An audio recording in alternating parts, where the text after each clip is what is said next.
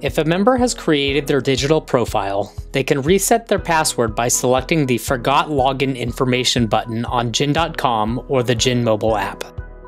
This automatically generates an email to the member from ghinprofile at usga.org with the subject Reset Your GHIN Digital Profile Password.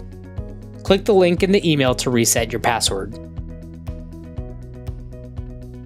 A club official can also reset a member's password using the USGA admin portal. If a profile exists, the club official can see a GHIN profile creation date in the account tab for the member. The official can send a reset password email to the email address in the account record, or can generate a direct link to reset a password and send the link directly to the member.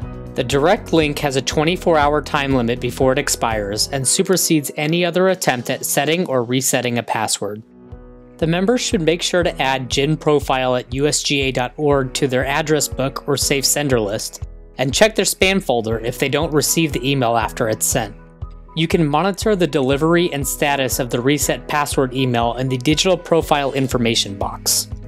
If the email address associated with their digital profile is incorrect, click Edit in the Basic Information section and enter the correct email. Then you can send the reset password email or generate the direct link as described previously.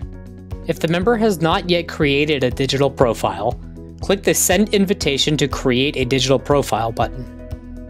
If the member does not have an email address associated with their account, you'll need to add one by selecting the Edit button in the Basic Information section before sending the invitation.